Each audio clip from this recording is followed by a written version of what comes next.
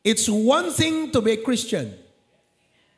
It's another thing to be a model Christian. Are you a model? Yan po ang ating lesson ngayong gabi. Isang bagay po yung ikaw ay tawaging Kristiyano. Pero napakagandang bagay na ikaw ay modelong Kristiyano.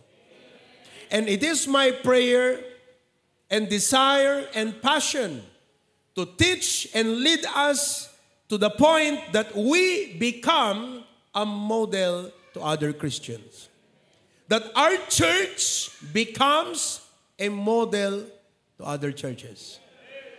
That when they look at our single men, they would say, I wish we had a single man like that in our church. That when they look at our single ladies, the pastors would say, I wish we had that kind of single ladies in our church. When they look at the men in our church, they would say, Oh, I wish I had that kind of men in my church. Think tonight. Don't be just a Christian. Be a model Christian. So I'm going to speak to you tonight on the Macedonian believers' model of Christian life. Ating pong tignan ang modelo o ehemplo ng mga Macedonian believers paano maging totoong Kristiyano. And I pray that you will listen with an open heart and mind to this message. Turn your Bibles to 2 Corinthians chapter 8 and we'll be reading from verse number 1 down to 9.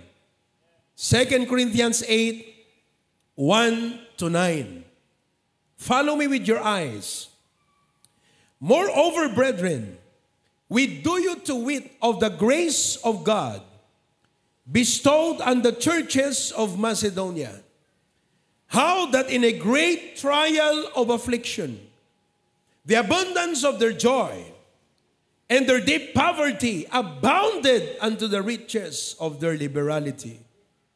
For to their power I bear record, yea, and beyond their power, they were willing of themselves, praying us with much entreaty that we would receive the gift and take upon us the fellowship of the ministering to the saints. And this they did, not as we hoped, but first gave their own selves to the Lord and unto us by the will of God In so much that we desired Titus, that as he had begun, so he would also finish in you the same grace also. Therefore, as ye abound in everything, in faith, in utterance, and knowledge, and in all diligence, and in your love to us, see that ye abound in this grace also. I speak not by commandment, but by occasion of the forwardness of others, and to prove the sincerity of your love. Everybody, verse 9. For ye know the grace of our Lord Jesus Christ, that though he was rich, yet for your sakes he became poor, that ye through his poverty might be rich. The Macedonian believers' model of Christian life. Lord, give us a simple, practical, down to earth, straight to the heart message tonight. I pray na kayo po ang kumausap sa bawat isa sa amin. Because Lord, you want to take us from an ordinary Christian to become a model Christian. And we will look into the model of the Macedonian believers. Mga ingredients, mga sangkap mga katangian na kung saan ay dapat makita sa amin. Tonight, I pray that you will bless your servant. Give me utterance, dear Lord, in Jesus' name. Amen. You may be seated. Ang Apostol Pablo ay sumulat ng isang libro o mensahe sa mga mananampalataya ng Corinth, who was a wealthy place, mayaman na lugar, Ang mga members ay may kaya, mayayaman, may posisyon at may impluensya. Subalit sa kanyang sulat ay kanyang ibinahagi itong buhay ng mga Macedonian Christians. And he used them as a model to encourage and inspire and challenge the church in Corinth. Tonight, I'm going to share with you the seven characteristics of the Macedonian believers that made them an example and model of the Apostle Paul to the church at Corinth. Pakinggan niyo pong maigi. Kunin niyo po ang mga points. Awan agmulmulanglang, awan agtungtunganga, lahat ay makinig at matuto sa ehemplo ng mga Macedonian believers. Okay. Una sa lahat, they are models of sufficient grace. They are models of sufficient grace. Ibig pong sabihin, sa buhay ng mga Kristiyanong ito, ang makita o remarkable sa kanila ay ang biyaya ng Panginoon. Ikaw ba o ako ay isang Kristiyano na kakitaan ng biyaya ng Panginoon? Is your life a remarkable model of the grace of God? I mean, look, their lives are proofs and evidence that God's grace is greater than our needs and struggles in life. There are two conditions. May dalawang pangyayari o sitwasyon sa kanilang buhay that I would like for you to see. The Bible says in verse number one, how that in a great trial of affliction. Are you with me? The Bible says that they were in a great trial of what? But what is remarkable is what? The abundance of their Ano ang nakikita mo sa kanila? Sa kanilang kalagayang naghihirap, anong nakikita natin? The abundance of their Nakikita ba yan sa atin? Sakit labasit, hanay may nakigimugan. Kaya namot pelang. Asaan ang sinasabi mong biyaya ng Panginoon?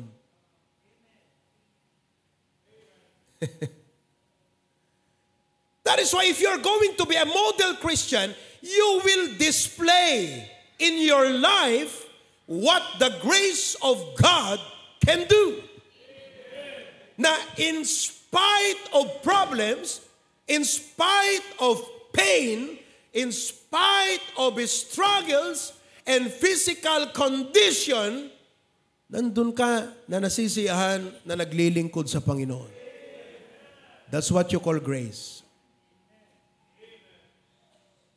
And not only that, but we can see that they were what? In deep poverty. Nakikita sa kanilang buhay. Are you following?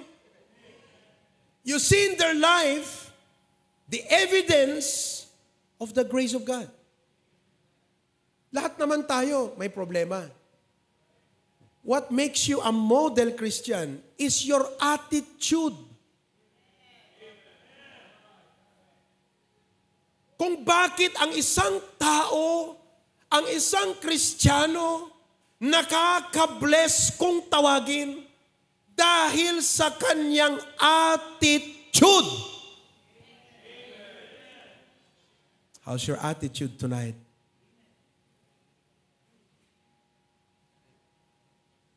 And that attitude is because of the grace of God in them. Yung attitude ng kagalakan. Minsan tayo, pag may problema, talagang makikita mo na may problema talaga tayo. Pero sila, hindi mo makitang may problema. hindi mo makitang may mabigat na pinagdadaanan. Ibig sabihin, sila po yung sana all. I mean, look, money is not the issue when you have problem. Personality, temperament, strong personality, weak person, that's not the point when you have problem. It's the grace of God. And so I pray that tonight, kung natin kumamot ti sarili tayo kanti Apo, Lord, kas jayak kuma. Kas jayak kuma po. Ngano adda iti problema ken parikot, dadagsen ti panagbiag. Nar adala tarag uti ka ungan di puso. The abundance of their joy. So they are models of the sufficient grace. Impakita da nga ti parabor ti apo kakabsat na buslon. I was talking with uh, I was talking with Lester nung kami ay nandun sa ospital. Because he was sharing with me how difficult his professional life is. And I know it's really difficult because he is a doctor. And he doesn't only work from 8 to 5. He is an on-call doctor. Kahit alas 9, alas 10 ng gabi, tatawagin yan, Doc, may emergency, pupunta. And he feels it's so tiring. Napakahirap. And I know that. You know what I was telling him? I said, you know what, Lester? I, I felt the same way when I was a young pastor. Ang tingin ko sa mga problema, sa mga responsibilidad, sa mga challenge, sa aking responsibility o ministry o leadership, ay napakahirap. Now, looking forward, looking backward from where I am now, I laugh and I say, grabe ang hina ko nun. What happened to me? Did I become strong? No, no strength in me. I learned what the grace of God can do. And you have to grow in that grace. Hindi ho dapat yung kada problema, ganun na lang tayo lagi. Dapat lumago tayo sa biyaya. Hindi ho pwede yung kada may pangangailangan, ganun tayo lagi. Hindi pa tayo natututong magtiwala sa Panginoon. Hindi ho dapat ganun na lang tayo lagi. Lumago tayo. And you can see this Macedonian believer. You don't see much in them. You don't see a lot of peripheral, outward things in them. Pero you see the growth of grace in their life. The grace of God is so evident in their life. Sana po ma-realize natin ngayong gabi itong message na ito and we would say, Oh, thank you Lord for making me realize na dapat hindi ako dapat ganon lagi. Help me grow in grace. Now, I was a young preacher. Pag may problema, umiiyak ako sa gabi niya, pambira, paano yan? Ngayon, by the grace of God, medyo nasursuro kun kakabsat ti parabor ti apo.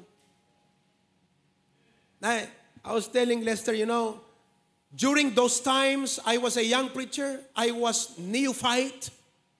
I was new in the fight. neophyte. I was new in the fight. Of course, I never thought of quitting, but I always felt I was inadequate. I always felt I'm too young. I always felt my personality is not fit. That's why I was telling Lester, you know what, Lester? Sometimes our culture, our society will tell you if you want to succeed, find your strength. Me, it's different. If I will base myself on my strength, I'll not be a pastor. Because I'm an introvert. I'm an introvert. Mahihayin ako eh. Sabi niya nga, Pastor, pareho tayo. Tita Elsa, sabi niya nga sa akin, uray pa nag-order lang yan tamak dumabainak pa, iding pa nag-order ko nana. Introvert. There are times, mga kapatid. I mean, look, on a natural law, find your passion, find your strength. But there are times God will put you to a place that is completely opposite to you. So He will manifest His grace upon you. And if you don't know that, you will be frustrated. You will be disappointed. You will be discouraged because you only know the natural law. You don't know the law of grace.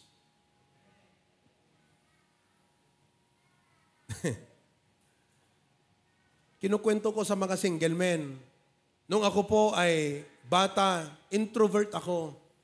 Ako yung, pag sinabi mo kasing introvert, yun yung tao na pag nag-usap tayo, ayaw kong matagal. Gusto ko matapos agad. Because I am not a sociable personality. Isang tanong, isang sagot, okay na? Okay, that's it. I have to go. That's me. Hello? And then, pag, pag sabi ni Pastor John, Oy, may birthday, sama ka, punta tayo. Ayaw kong sumama. I don't want talking with people. I only want to listen.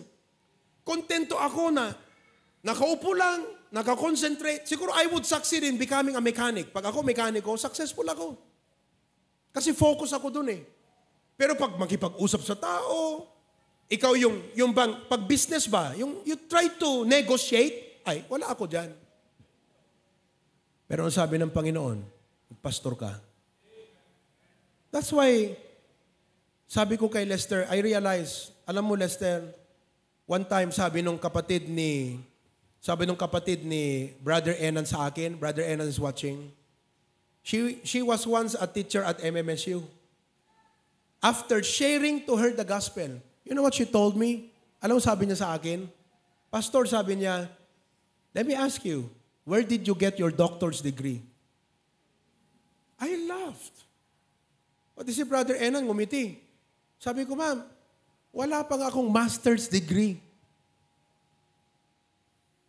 And you know, the Lord must have designed it that way. Why? So that whatever success, whatever achievement, whatever they reach out of these men here is not because of these men, but because of the grace of God. That is what God wants to every one of us that you become a model of the grace of God.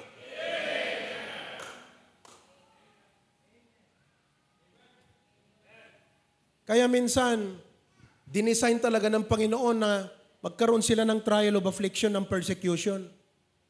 Dinesign ng Panginoon na talagang sila ay maghirap. Hindi dahil gusto niya silang maghirap, hindi dahil gusto niya silang masaktan, kundi upang ipamalas nila ang biyaya ng Panginoon sa kanilang buhay. Thus will make them a model Christian. Pag naunawaan mo yan, may kagalakan ka sa pagsubok. Ang problema kasi minsan, because of our personality, we are only focused on finding solutions to the problem we are not mindful of God's purpose for the problem. That's why we don't have joy in the problem.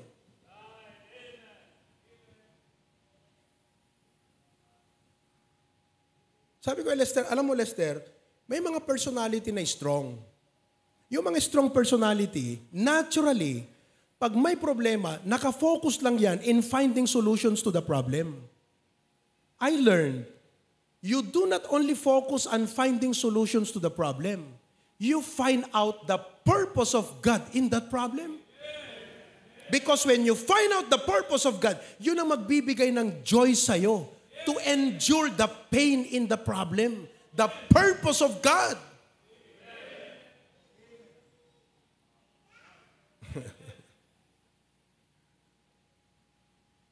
Oh, ngayon, appreciate nyo lang ibig sabihin ng grace. Kala nyo, ang remarkable sa atin, yung posisyon natin, yung achievement sa buhay, earthly gain, earthly na mga na mga accolades ng tao sa iyo, yun ang remarkable sa iyo. Hindi yun ang remarkable pag Kristiyano ka. Ang remarkable sa iyo, nakikita ang grace ng Panginoon sa iyo. Sa anong paraan nakikita ang biyaya ng Panginoon sa iyo. That is why you observe the things happening in your life. Do you know why they're happening? Because God wants to manifest His grace. Don't miss it. Don't miss it.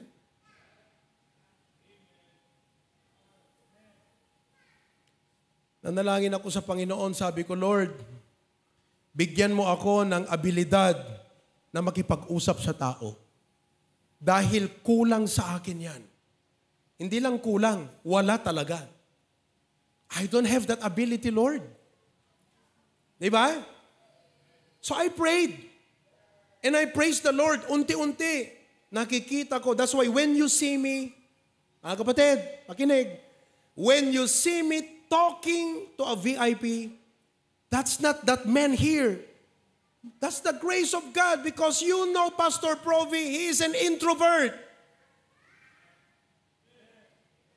He does not know how to talk to these people. He is a passive personality.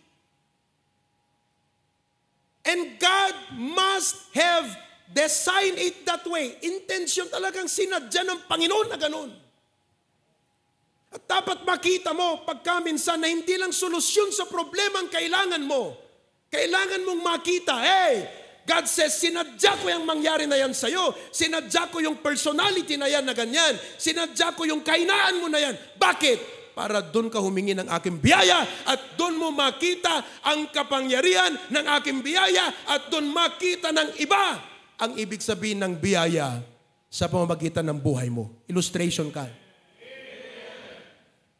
As ang, yan ang ibig sabihin ng ating first point, model of the sufficiency of God's grace.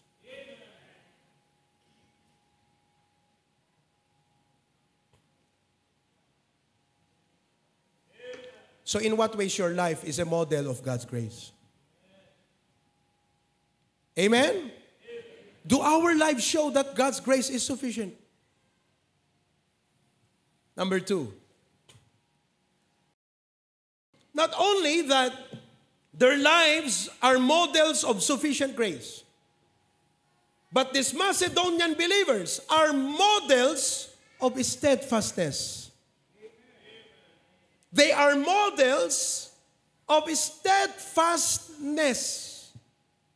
The word steadfast is from the word steady, unmovable, not subject to change Rooted.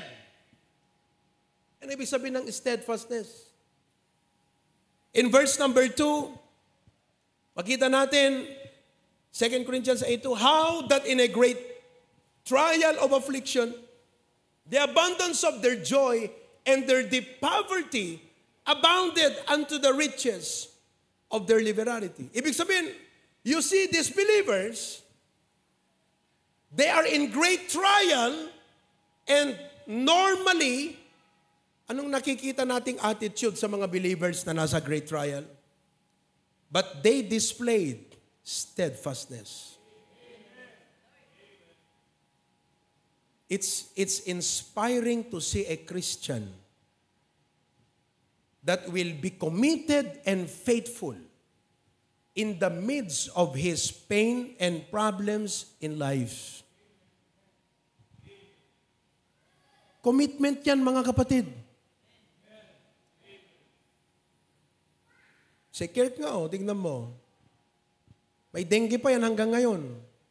Pero kaya niyang umupo. Eh, pastor, dyan lang ang bahay niyo. Eh, kahit pa malayo yan, mga kapatid.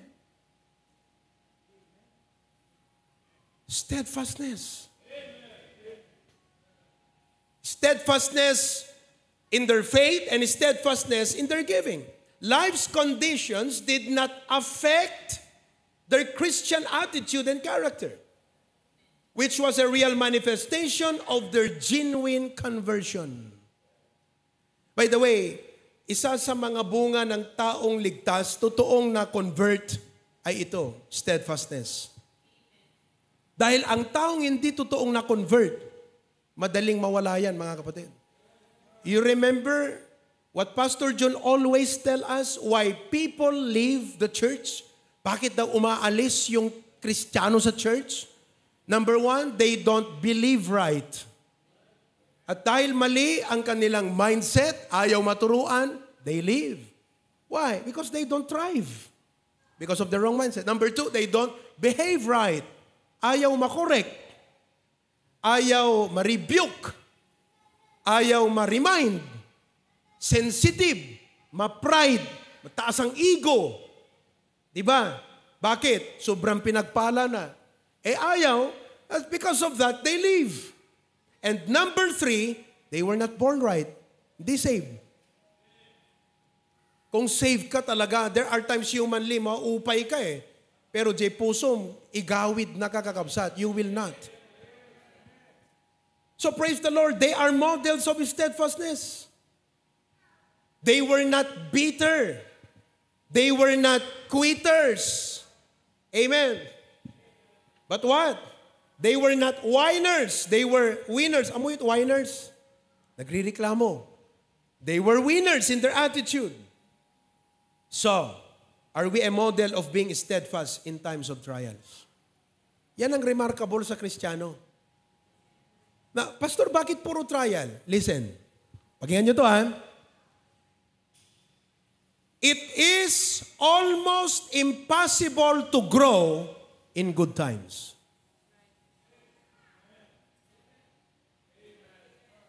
Can you grow in good times? No. You grow in bad times.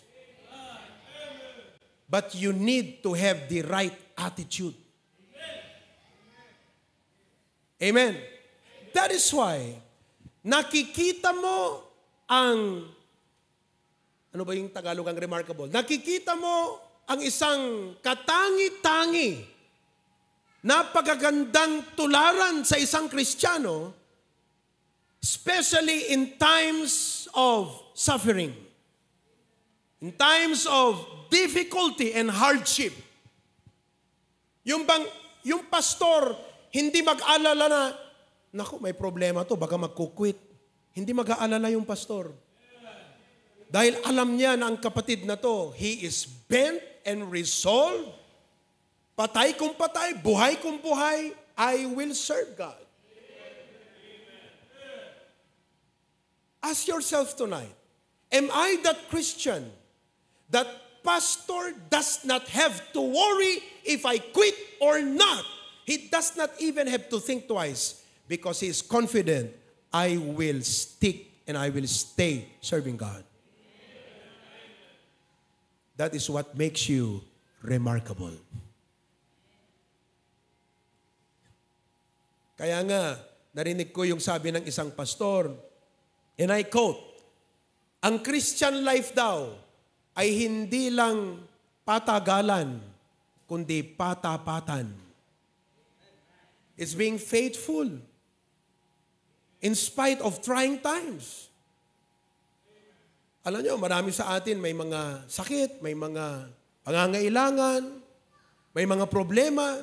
Pag chinecheck ko nga yung giving record eh, ang nakikita mong model doon, hindi ho yung malaking amount, kundi yung totoong nagbibigay. Number two, ang nakikita mong remarkable doon, yung alam mong mahirap ang buhay, pero tapat sa giving. Steadfastness. Yun ang remarkable Christian.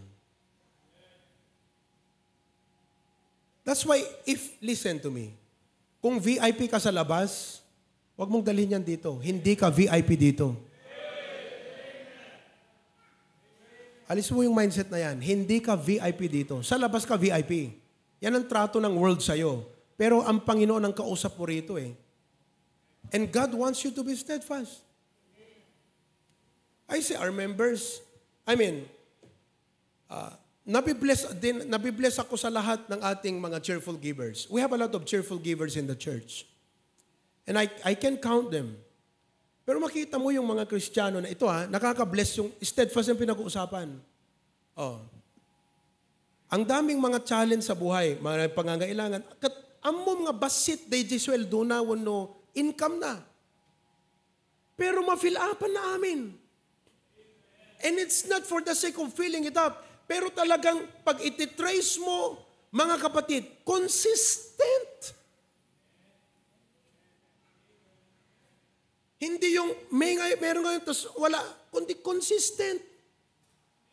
Ibig sabihin, itong kapatid na to, sa kanyang sarili, at damabati kan awan, basta itod ko di para ti apo. Ah, kapatid, nakikita nyo ba yung ibig kong sabihin ngayong gabi? Model. At kung ikaw yan, kapatid, hindi man kita ma-mention ang pangalan, may you be comforted tonight. You are a remarkable Christian. Tapos, tapos ito pa, yung mo ha, nagtatights na yan ha, may love offering yan, may mission offering, consistent yan. Yung iba, gift to pastor, ha, may first fruit. Ito pa nakakapagtaka. Pag nagpa-commitment, nagtataas ng kamay. Nagko-commitment. At fino-fulfill ang commitment. Yan ang ibig sabihin ng model Christian. Oh. Amen? I pray that tonight, instead of, you know, complaining about the problems of life, why don't you determine and say, Lord God, itong sitwasyon na ito is an opportunity for me to show faithfulness to you. May kapatid akong nakausap kanina. Alam ko ng kapatid na to, nasa abroad yan. I know, she's watching probably tonight. Sapagkat, I, I, it was my schedule to go today to withdraw the offering. Sa akin pinadala yung offering. Para sa commitment at offering para sa ating ministry. Sabi ko sa kanya, alam niyo po, sabi ko, nakakatuwa at nakaka-bless ang inyong generosity. Amam ti sungbat na kanyak. Kunana, Pastor, napipya nga iti trabaho ti Apo, ti pakaibusan ti kwarta. Grabing mindset. Napipya nga ti trabaho ti Apo, ti pakaibusan. Kasi no, kut utubom, maibos mo ta kwarta nga talaga eh. Ti saludsod, pakaibusan na't kwarta tayo. May ibus lang yan ti ana. Ano pa kay ibusan ti kwarta tayo kakabsat? Alahan na dakas nga gasto tayo matamapan mangan sa paminsan ta restaurant ha. Hanadakas nga sumangputput di kita siyapi kadalasada tayo sa paminsan ha. Amen. Hanadakas sa magagatang tayo kita barong arwatan tayo. Praise God for that. Pero no isulat pa kay ibusan ti kwarta tayo, nga awam man lang kakabsat ti maitid tayo nga para iti apo. That's not becoming a model Christian. Kaya nga sabi ko kanina, it's one thing to be called a Christian yung pupunta ka sa church, tinawag, Kristiyano yan. Kristiyano sa tawag, Kristiyano sa pangalan. Pero iba yung modelong Kristiyano. And a model Christian is known by his steadfastness. Nga uray bumasit tay sweldo na kakabsat, itad na lata jay tenth iti apo. Kat uray medyo bumagsak jay income na, fulfill na mindful nga mang fulfill tay commitment na. That's steadfastness. Ngahan na ko na, kasano nga rodan apo, bumabamot ti income ko. Hana mabaling nga ibaga nga, excuse ak nga rodan apo ah, nga jak ma-fulfill ti commitment ko kasi bumaba di income ko. Pero sa kanyang sarili, sa Panginoon, sasabihin niya, Panginoon, uray bumaba ti income ko, mindfulak nga mang-fulfill di commitment, kat uray magmagnaak nga mapanagbasa, uray pa'y magmagnaak, uray makiangkasak nga mapanagubra, basta fulfill di commitment. That is steadfastness. And that is what makes you a model Christian. Kasi ti, Talaga kakabsat, ti pasamak ti biyag, pabago-bago. Unpredictable. Okay ngayon, KO bukas.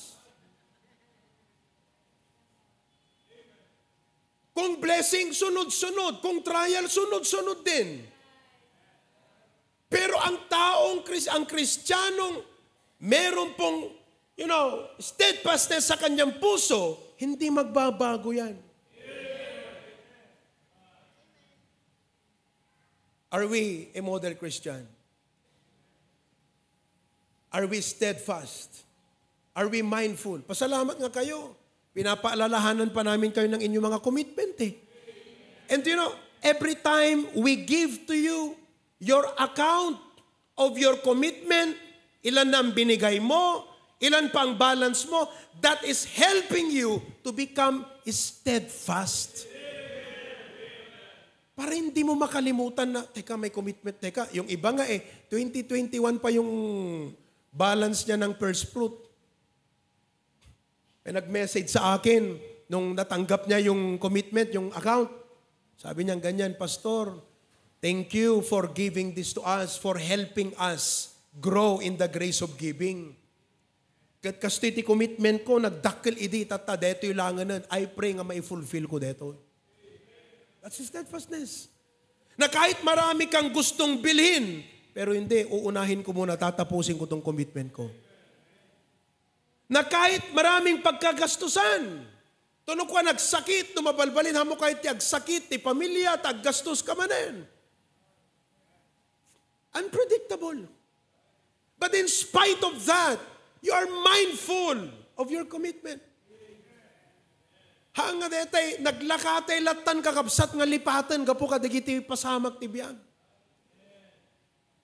Rimang ay kabasit, naglakam latan nga linipat, Kinugtara ng ti church, kinugtara mo ti pastor. Gapulaang ta, komportable ka na if you don't need the church. Uno gapo ti problema, naglakatay nga lipatan kat ko tayo apo, excuse na siguron.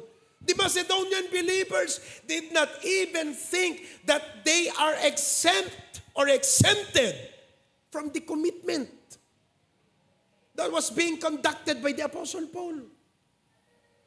In fact, their steadfastness had exceeded the expectation of the Apostle Paul. Inartapan da kakabsat, jay ekspektasyon ni Apostol Pablo kadakwada.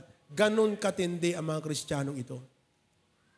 Kaya nga, kung gabi, listen to me, Pagdating sa Christian life, ang totoong usapin dito, hindi yung mayaman ka, mahirap ka, may pinag-aralan ka, wala. Pag Christianity ang pinag-uusapan, ang totoong issue, ang totoong usapan dito mga kapatid, ano ang attitude natin? Gaano tayo ka-committed? Gaano tayo ka-mindful? Sa ating commitment, sa ating responsibilidad, na kahit ano ang dumating, kahit ano ang mangyari, we will fulfill our duty and our responsibility. Yan po ang totoong pinag-uusapan sa Christian life. That's the central issue. Amen? Oh. Tuloy tayo ito sa Sunday kakabsat, palubos ti Apo. Nalangin tayo, Lord, thank you so much for reminding us tonight of the lives of the Macedonian believers. That they are model Christians Isuda apo ti husto nga pakakitaan digiti banbanag nga dapat issue, topic pagdating sa usaping Christian life. They are models of sufficient grace. Akita sa kanilang buhay ang patutuo ng biyaya. At yan ang gusto mo sa amin, Panginoon. At makita sa kanilang buhay of their steadfastness. They didn't even think that they are exempted from the commitment na ginagawa ng Apostol Pablo para sa mga kapatirang naghihirap. Pero sila ay nagbigay and even more exceeded, Lord, the expectation of the Apostle Paul. Help us tonight to become examples, to become manifestations, Lord, of steadfastness. Salamat din sa paalala ngayong gabi na pag may mga problema kami, hindi lang dapat kami nakatutok sa solusyon ng problema, kundi inaalam namin ang purpose mo, Panginoon. and that will give us joy and sense of purpose in enduring the afflictions and pain of life. Thank you for reminding us tonight. In Christ's name we pray. All of God's people say, Amen. Amen.